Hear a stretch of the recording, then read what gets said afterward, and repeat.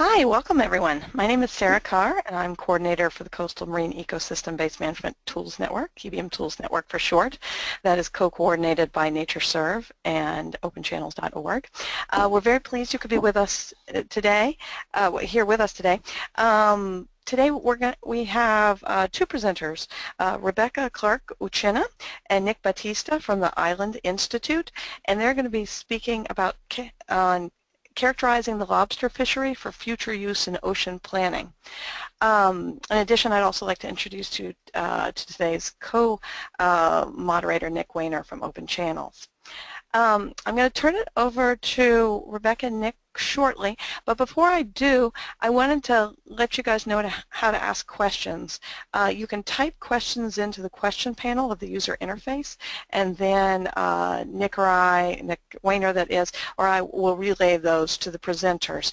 Now you can go ahead and type questions in at any point during the presentation. We'll hold the substantive questions um, for the end because we'll, we've got um, a, a, portion at the end of the webinars uh, dedicated to question and answer. Um, but if you have just a quick clarifying question, you can go ahead and send that too, and I could uh, ask uh, uh, Rebecca and Nick during their presentation if they could clarify that point. So that would be example would be if you needed an acronym defined, etc. Okay. All right. Well, thank you very much, and I'll turn it over to you guys, Rebecca and Nick. Great. Thank you. So hello, I'm Nick Battista. I'm the Marine Programs Director here at the Island Institute, and as Sarah mentioned, uh, I'm Rebecca. I'm the Marine Programs Associate at the Island Institute. And we're very excited for today's webinar. The Island Institute is located in Rockland, Maine, and we work to sustain Maine's island and remote coastal communities and exchange ideas and experiences to further the sustainability of communities here and elsewhere. What this means for ocean planning purposes is we want communities like Monhegan, which is the community in the picture on your screen, to continue to be supported by nearby ocean space. Access to nearby ocean space is critical for the future of these communities, and we've been working for the last seven years on understanding and helping to translate how important this access is um, to these communities.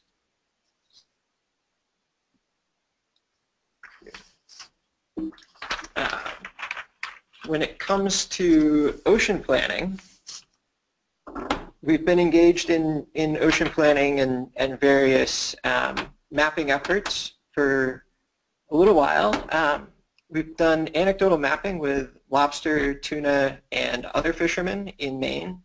And so the figure or the uh, picture on your left so shows some fishermen gathered around a chart drawing where they fish and where their community fishes um, and talking about how they use ocean space. We also helped lead the first fisheries characterization for the Northeast Regional Ocean Council, um, and that helped that work helped develop the uh, vessel monitoring system maps that are part of the data portal. Um, and that's the, the figure on the other side of the screen.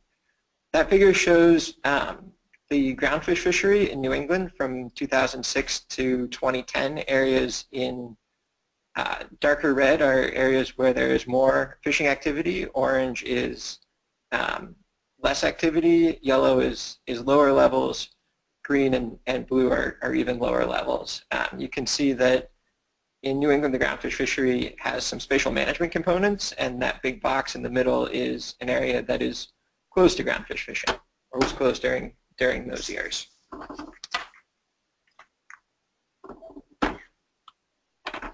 So in New England, we have a draft ocean plan. Here's the table of contents. Uh, from my perspective, the plan does a couple of things. It provides context and background about what is happening in the ocean off of New England. It provides best practices for engaging in communities. It suggests some research priorities and generally tries to help federal agencies make better decisions about the ocean.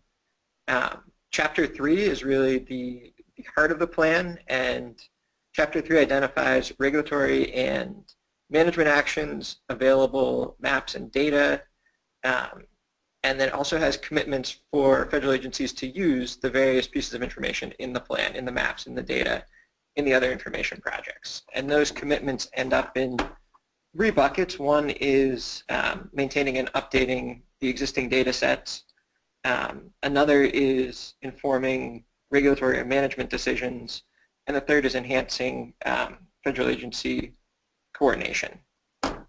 It's important to note that in New England, the, the plan is really more of um, an integrated coastal management plan. It doesn't designate specific spaces for specific uses.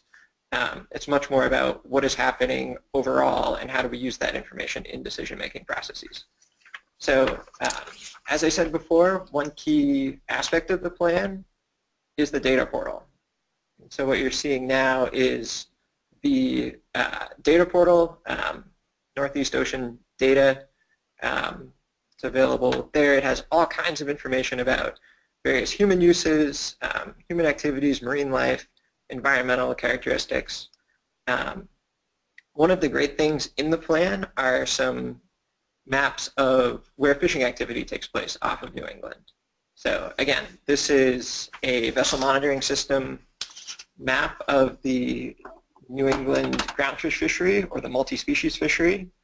Um, that's the cod, haddock, pollock, flounders, um, those sort of species. Other species, monkfish, herring, scallop, surf clam, ocean quahog, squid, mackerel. Um, there are also vessel monitoring system maps of those species. For um, these maps come from the VMS system, which is a uh, it's a device in on these fishing boats that sends a ping up to a satellite every 30 minutes or an or every hour, depending on the fishery. Um, and it, it, NMFS looks at it, and it, uh, it's used primarily as an enforcement tool. Wasn't really built for ocean planning purposes, but when it comes to looking at the spatial footprint of the fisheries listed here on the screen, it's really helpful to see where things are taking place and where they're not taking place. Just because you don't see fishing activity in a certain place, it may be that um, fishermen weren't allowed to go there that year, it's a closed area. Um, these maps also don't distinguish between transit, um, steaming out to the fishing grounds, and fishing activity. Um, other maps on the on the data portal do do look at that issue. Um, these VMS maps really only apply to federal fisheries, fisheries that are regulated by the fisheries management councils. Um, and while these are some of the region's most important fisheries, um, they're not helpful for understanding where tuna fishing activity happens or where the party charter fleet fishes um, or where lobster fishing takes place. So um, it's great that we have this data, but it's not a complete look at where fishing activity takes place in New England.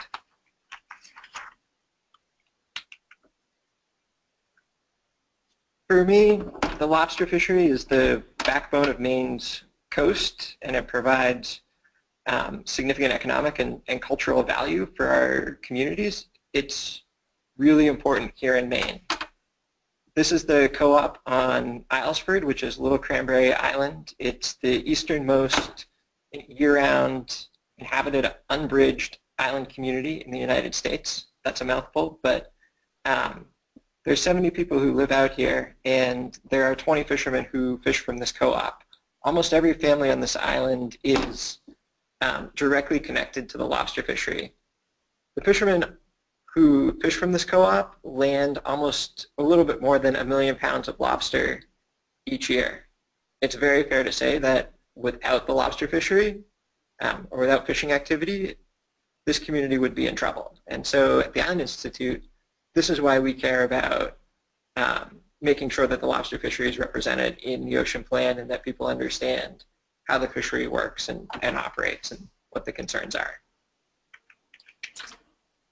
So why should anybody else care about the lobster fishery? It's great that those of us here at the Island Institute care about it, but um, in 2014, the American lobster was the single most valuable species landed in the United States. The single most valuable species. It's not the most valuable fishery, um, but it's close. But it's the most valuable species landed. 80% of those landings come from Maine in uh, we Maine issues 6,000 licenses, and when you add in sternmen, there are over 10,000 people involved in the fishery alone. in Maine, the DMR issues uh, 3 million trap tags each year, and almost 2 million of those are, we believe, are fished. The best estimate is the fishery has more than 250,000 trips each year, which means that the lobster fishery alone has more trips than any other state on the East Coast has for all of their fisheries combined. Maine lands 120 million pounds of lobster a year. Lobsters mostly weigh between one pound and a, and a pound and a half. Um, doing some, some simple math, as, as a state, Maine's lobster fishermen handle 80 to 100 million individual lobsters a year. Those animals are alive when they leave the boat, and they're alive all the way through the value chain. Fishermen release 60 to 80% of the lobsters they catch alive uh, back into the ocean. And so that means that Maine fishermen are handling roughly 350 million lobsters a year. That's a lot of lobsters. Um, at the same time, fishermen are licensed to fish in one of specific seven, one of seven zones, um, and you have to fish your gear in in that zone. Um, and then further getting into the spatial aspects of the fishery, um, many fishermen fish in an area specific to their community. These are informal areas, they're social areas, they don't exist in regulations, but um, people who try to fish outside of their community territory often find that to be very difficult.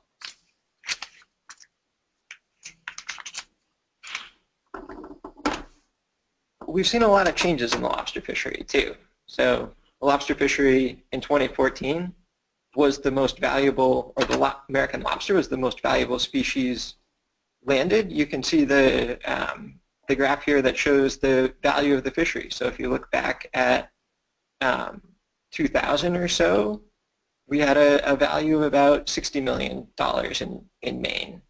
Um, oh, sorry, value of uh, $250 million. Now we're at 500 million. And you go back a little bit before that and it was a, a 40, 50, 60 million dollar fishery.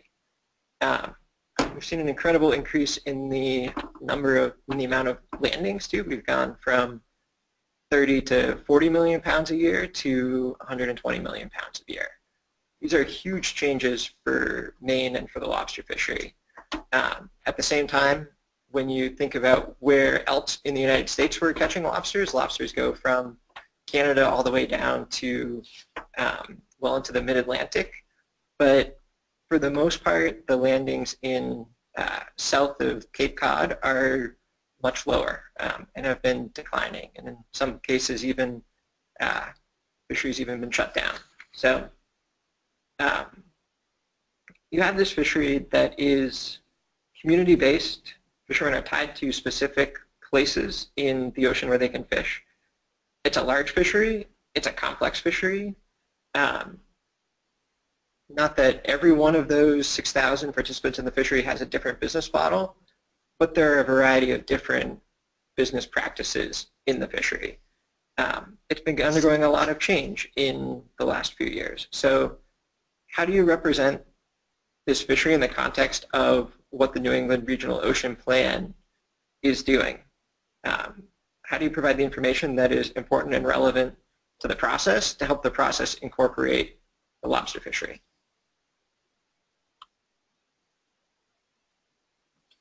So now I'll turn it over to Rebecca to answer uh, answer these questions. Great. Great, thanks, Nick. Um, before I jump into um, the report aspect of this presentation, um, I want to ask you all a question. How could this work um, be applied to other fisheries? So as I'm going through our um, design methods and results, just be thinking of how this could be applied to maybe the tuna fishery or another fishery that is not currently represented in the Northeast Regional Ocean Plan. Um, you can type questions, comments, um, start discussions in your little toolbar, toolbar, and we should have plenty of time at the end to go through all of your questions. So we interviewed um, 19 fishermen from each of the seven uh, management zones to get their perspectives on ocean planning. Um, we used a set of questions to start conversations and allowed fishermen to fully voice their opinions about changes they've seen over the years, whether it's uh, environmental changes, regulation and man management changes, and how ocean planning may influence the lobster fishery. Um, we then compiled all of the uh, interviews into one document and looked to see the similarities in responses. And it was in really interesting to see um, a lot of similarities that fishermen um, are concerned about. So the first um, big concern is about um, future ocean uses that could restrict how fishermen adapt to changing conditions. So as many of you know, things are changing out there rapidly on the water. Uh, species are shifting, moving. A lot of species that are traditionally found in more southern waters are now being caught off the coast of Maine. Um, fishermen have to adapt really quickly to these changing conditions in order to maintain their business. Um, so just they're very concerned that any future, future ocean use, whether it's offshore wind or aquaculture, um, may not allow for fishermen to quickly adapt to changing conditions. Another concern is um, increased fishing effort. So having new people coming into the uh, fishing industry, as well as shifting effort due to other ocean uses. So Nick mentioned this earlier, it's very difficult for fishermen to um, move to a different fishing territory. Um, so anything that displaces fishermen um, could cause some challenges. Uh, the third piece, um, the value of the fishery extends well beyond the economic um, dollar value. Uh, the historical culture, cultural and social importance of fishing communities cannot be overemphasized. So if fishing were to disappear or get disrupted, um, especially in some of these smaller communities, there's, there's a good chance that these communities may disappear. Um, so considerations for the ocean planning process. Um, definitely need to consider change. Um, things are changing out there very quickly uh, fishermen are, are fishing in different ways that they never thought that they would do a decade before. Um, fishermen are fishing different bottom types. Um, traditionally, lobster are found in kind of hard, rocky cobble bottom. Now fishermen are finding that muddy bottom is the most productive bottom type, which they have never really seen before. So just um, making sure that that is incorporated somehow into the planning process. Um, ocean projects should recognize the place-based nature of the fishery. Um, lobstermen from a particular management zone cannot move to a different management zone, so just um, being aware of that displacement part of the fishery. And also, uh, no surprise, communication is very key.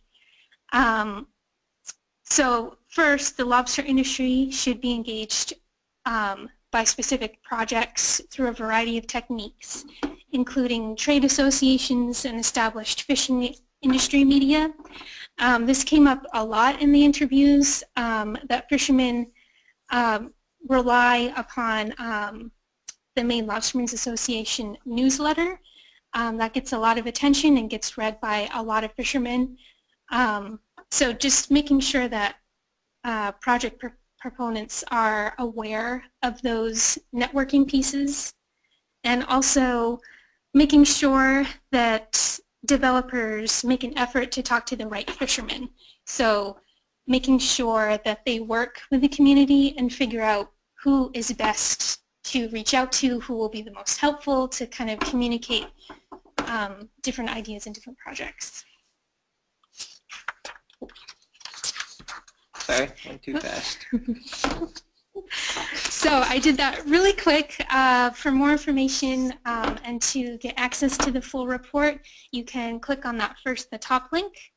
Um, the second link is a link to a blog post that we posted a couple of months ago.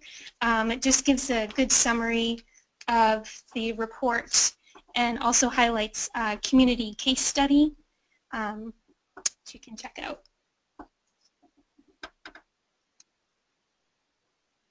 Cool. So uh, before we get into questions and, and things like that, um, I did want to acknowledge that um, we had two other authors on the report. We, we worked with two consultants, Sam Belknap, who is on the webinar, and George Lapointe, and this work wouldn't have been possible without either of, of them. So um, a huge thank you to them. And Sam, if uh, you're in a place where you can answer questions and people have questions about the interview process, um, we might put you on the spot. Okay, great. Thank you. Um, so please go ahead and send in questions that you have. Um, just type them into the question uh, part of the user interface, and uh, uh, Nick and Rebecca would be happy to answer them, I feel certain. Um, so we don't have any right now, uh, but hopefully we'll get some shortly. I did not want to ask, uh, like, are there plans to do anything similar uh, with other fisheries anytime soon? So from our perspective, we would love for for this work to spread to other fisheries. I, I think it's um, the fishermen we worked with and the fisheries managers we talked to and the RPB members we worked with um, all thought it was this process was providing helpful information about the Maine lobster fishery and so expanding it to lobster the lobster fishery in New England would be a natural um, easy step. And then, you know, in, in digging into some of the other fisheries in New England, the tuna fishery, um, it would be very helpful to have a report like this for, for that fishery. Um, they have a very different set of issues. They're, um, they're a wide, wide-ranging fishery, and you know, the, the tuna are pelagic species up here, and they end up, the fishermen fishing for them end up all over the Gulf of Maine. Um, and so it's much less tied to community, but that doesn't mean it's um, not tied to particular parts of the ocean. So um, we don't have any plans at the moment to look at this with other um, fisheries. I, I think one of the things that we're excited about is the ocean plan that's um, the draft ocean plan here in New England because it does identify some of these needs as places for further work for the RPB. And so we did this project um, looking to inform the RPB and inform um, their discussions and inform the ocean plan and inform how they're looking at fisheries. And the report that we just did on the, the very high level pieces of information that are that are in there is uh, you know, it's 30 30 some odd, 35 pages long, and so um, that's been submitted to the RPB, and and I know um, we've had conversations with RPB members who are um, who would be interested in having similar work for other fisheries because they thought it really helped explain um, the concerns that fishermen had about ocean space and about how space was being used and really getting at those questions about context and background on the fishery. Um, yeah. Okay. All right. Thank you, Nick. Um, let's see. We do have some questions that come in, too. Um, how is climate change affecting the lobster fishery in Maine? I I would be happy to have let Sam have a, a crack at that. If, if okay, let me uh, let me go unmute Sam. I ho hopefully, Sam, you are ready to be put on the spot. Hey, Sam. Sam. Hello. Yeah, hi, we can hear you now, Sam. Excellent, excellent. Um, well, yeah, thanks, Nick, for putting me on the spot, but I suppose it's, uh, it's my duty since I'm doing this on as part of my dissertation work. Um, I mean, the, the, the lobster fishery has been broadly impacted by climate change in a variety of ways. Um, most noticeably, it's just the expansion of the territory that lobsters are able to inhabit. Um, if you look at the kind of the boom that we've been seeing in down east Maine, a lot of that is tied to improved ocean conditions based on, on warming and food availability. Um, and just looking back at the history of the, the fishery, uh, we've been traditionally a 30 million pound fishery except for the last, uh, last decade. um, when we've been in a 120 million pound fishery. So uh, up to now, at least in the Gulf of Maine, um, climate change, at least in the form of warming waters, has been a good thing uh, for the lobster fishery, um, with the exception of, of 2012 uh, when we had that anom anomalously warm winter and spring and, and too many lobsters were caught and, and that caused a pretty significant price depression and that really impacted lobsters and lobstering communities. Um, but if you look at the, the fisheries outside of the Gulf of Maine, in particular in southern New England, you see a little bit more drastic impact um, where warming coupled with a, a host of other uh, factors have, have really kind of pushed lobsters to their limits um, in terms of, of what they're able to tolerate. And we saw a, a collapse and die-off of the Long Island Sound fishery uh, a decade or so ago. Um, so it's, it's a mixed bag of, of climate change impacts right now. Okay. All right, Sam. Uh, we appreciate you stepping in to answer that. So um, we'll move on to the next question. Let's see. Uh, can you discuss how the results of this study were incorporated into the New England Regional Ocean Plan and local MSP efforts?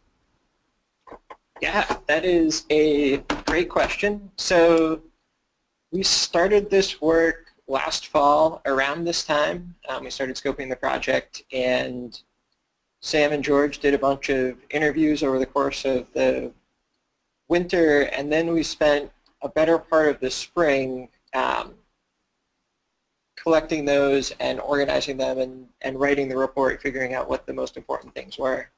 Um, we didn't finalize the report until uh, until July, June, late June. Um, and at that point, the RPB had a draft plan that was out. So um, it wasn't incorporated in the draft plan directly, but um, throughout the process of developing the report and the project, we're working closely with Maine's um, representatives to the regional planning body, and we were working closely with the staff at NROC who were writing the plan and keeping them informed of our outcomes and, and what what we were finding. And so there are pieces in the uh, in chapter three in under the commercial fisheries characterization that um, I think were were tweaked or were informed by this work, um, and we're hoping that the the final plan when it comes out incorporates the this work by, by reference. But really the most important thing is that um, the information is available and the context and the background about the lobster industry is available. And so as we look at other uses that are coming into the waters off of the Gulf of Maine, whether it's offshore wind or electric cables or um, other things, changing other uses that are that are changing where, where they are, the this report provides some background context for anybody who is not familiar with the lobster industry and is going to be engaging with the with the industry. A lot of times we find um, concerns from fishermen that well, that say a fisherman will raise a, a concern in a specific process, but it'll be a localized concern. And this report gives um, both the fisherman and also the developer or the regulator the ability to put that concern in a broader context. So it's not just one fisherman saying, you're going to destroy where I fish or you're going to prevent me from making a living or if you do that over here, all of those people are going to move into where I fish and, and that's going to harm my business. It gives a little bit of context and background for how those issues work and also for just the overall context that the lobster fishery is operating in. Okay. All right. Thank you, Nick. Uh, actually, now we have lots of questions. Um, okay. Another question that came up, in particular, how are the sociocultural values incorporated? And what recommendations would you have for other MSP efforts looking to incorporate sociocultural values? Um, you should do it. uh, you know, I, I think for for what we have in New England, the connection between community and ocean space and the connection between community values about the ocean and what's in the plan is a place that's been identified and recognized as needing further work. So part of the answer is stay tuned for the implementation of the plan. Um, more, more broadly, you know, the the planning process when you you, we go back to we're gonna cruise through some slides here quickly. I think for me this slide says a lot about how you go about incorporating the socioeconomic, cultural, community values um, into a planning process. On one hand, you've got fishermen sitting around a table, talking, interacting with each other, sharing information. Um, this was a two and a half, three hour conversation, and then we went to dinner and continued on from there. But it was a, a great conversation about where um, where these guys fish for scallops in the mid-coast area um, and some of the changes they've been seeing in the environment and some of their concerns about climate change um, and some of their concerns about the future of the community. On the other side, you have VMS data, which is an excellent data source, but it's very disconnected from the people. And when fishermen who fish in, say, Portland or Harpswell um, or the Midcoast, which is getting up towards the top of the slide, looked at the VMS data, they didn't see themselves in the data. They didn't see that they were represented. They didn't see that they were um, acknowledged as being important, in part because they weren't fishing full-time for groundfish. They would fish for groundfish part of the year, fish for lobster part of the year, go tuna fishing, go shrimping, go scalloping, do a whole bunch of things. And if your data set is just those vessels and, and those times where people are fishing for groundfish, you miss the, the human connection. Um, so, you know, it's the VMS data is incredibly helpful for some things. It's not particularly helpful for other things the Mid-Atlantic process is doing some really interesting work with vessel trip reports and tying that back to community. Um, so I, there are a couple of different ways of going about doing it, but it fundamentally comes back to you're talking about individual, at least with fishermen, it comes back to you're talking about individual fishing businesses that operate in a specific location, in a specific spatial area, um, and have to respond to a whole bunch of complex management and environmental interactions. And so when you look at the broad region-wide VMS maps, it doesn't tell you that. It doesn't tell you that story. Um, and so the more you can incorporate that story and the people into the process, the closer you get to incorporating socio and cultural values. Okay, thank you, Nick. Um, another question. Uh, how do you go about protecting lobster fishing habitat if habitat used by lobsters is changing? Uh, that, that is a good question. I would say right now, um, some habitat, and Sam, feel free to jump in here, um, or anybody else on the, uh, if anybody else is a, a lobster expert, feel free to uh, flag, flag for us. But, you know, the, the changes in the fishery, there are still parts of the bottom that are particularly important for lobsters' life cycles, and there are parts of the bottom that are less important. And so we've seen the expansion um, in the offshore fishery, the fishery out in the, you know, 10 to 30, 40 miles offshore, go from being on the cobble bottom, on the gravel bottom, on the rocky bottom, to being on the mud bottom. And so the mud bottom isn't particularly important for lobsters' long-term sustainability. It's important right now, but um, the fishery was sustainable at 30, 40, 50 million pounds when the lobsters weren't there. Now that they're there, it still might be important for important habitat, but it's not as important habitat as, as other parts are. Um, and then there are various life stages where lobsters are more or less vulnerable to um, predation or to habitat impacts. And so um, some of it's about making sure that the inshore habitat where lobsters settle out is um, is protected. And but yeah, Sam, if you've got anything to add on there, feel free. No, Nick, I think you did a, a great job of, of characterizing that. It's, uh, it's just because the lobsters are using the mud, mud bottom now doesn't mean it's important habitat. Um, like you said, it's that, that cobble bottom that's traditionally been the important habitat. They're just expanding so much, they're using more and di- diverse types of habitat right now. And it's it's worth noting that the lobster fishery is uh, MSC certified. It's a sustainable fishery. We're not overfishing despite um, the huge increase in, in landings. It's one of the more sustainable fisheries around, and some of the conservation practices in the fishery have been in place for 150 years or more, um, including throwing over egg-bearing females and lobsters that are too small and lobsters that are too big. Okay, all right. Thank you, Nick and Sam. Um, all right, I have one more question. So if anybody else had an additional question, please go ahead and send it now. Let's see. Uh, okay, yeah, we're already getting some. Uh, okay, I like the idea of the community territory in quotations because this already applies to marine spatial planning.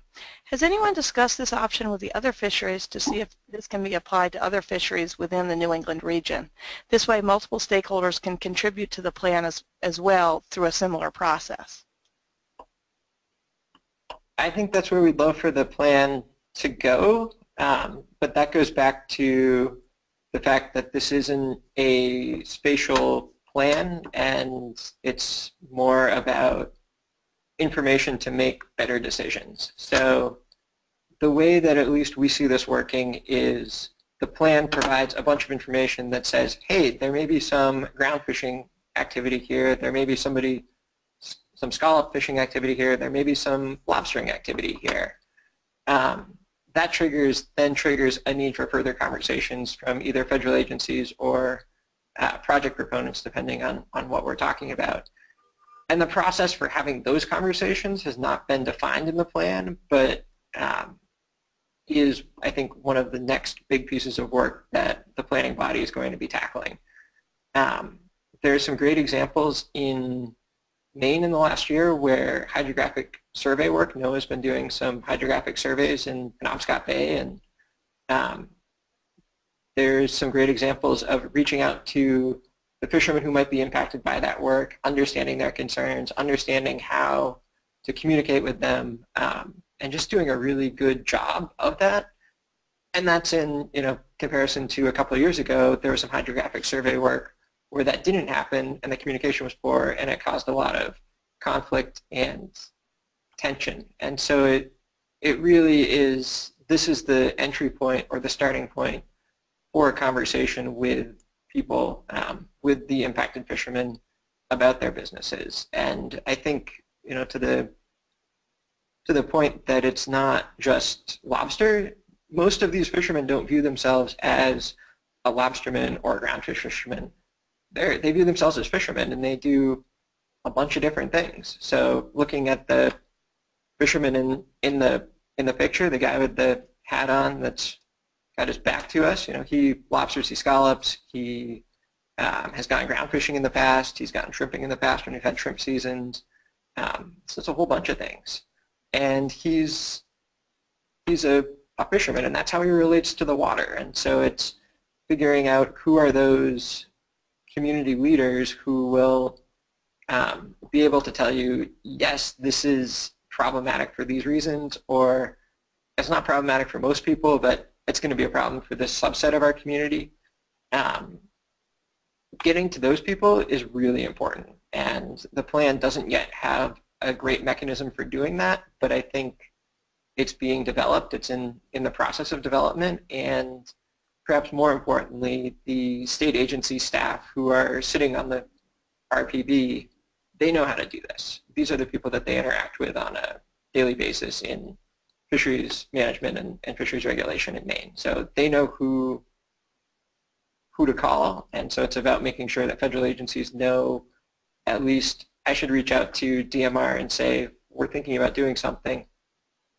What do you know? Who do you know? And they'll rattle off a list of 10 people that are give you a pretty good sense of um, what's happening in a particular area. I don't know if Okay. that exactly answers the question, but Okay, no, I think that was very helpful, Nick. Thank you. Uh, let's see. Another question. Um, how have the increased landings since the 1990s changed coastal communities? Well, we have, uh, so in 1995 in Maine, we landed about, um, just going to see if I can, if we have this in here. Uh, we don't have it in here. We, we landed about um, 28 million pounds of groundfish, 30, 32 million pounds of urchins, 10 million pounds of shrimp, um, and about 38 million pounds of lobster. Um, 2015, as a state, we landed uh, about 2.8 million pounds of groundfish, landed, you know, less than, you know, about 1.2 million pounds of urchins, 800,000 pounds of scallops. Shrimp season's been closed for three years. Um, but we landed 120 million pounds of lobster. So some of the economic benefit uh, in growth in the lobster fishery and in, the lobster landings um, has displaced the loss of other fisheries. Um, some of it is it's going back into the communities, but bait's more expensive, fuel's more expensive, and the lobster prices are about the same as they were in 1995. You know, still getting three, four dollars a pound for for our lobsters. So even though we're catching a higher higher volume um, with increased costs and um, not an increase in price, the fishery is not as profitable as it would appear by the by the graphs. That's not to say that people aren't doing well in the last couple of years, that people haven't been doing well, but um, it's not as big a change as some of the graphs and, and information would, would lead you to believe. Okay, all right. Um, thank you, Nick. Uh, and that's our last question that we have. This is a great Q&A and uh, after a very interesting presentation. So thank you to everyone who was able to attend and a very special thank you to Nick uh, for all the insights and sharing um, their their mapping project with us. Um, so uh, if anyone is interested uh, in future webinars, we uh, encourage you to sign up uh, for them through the EBM Tools Network or openchannels.org, and we look forward to seeing you on, on future webinars. And, and, thank you again to Nick and Rebecca and Sam. Thank you. Thank you. Okay. All right. Bye, everyone.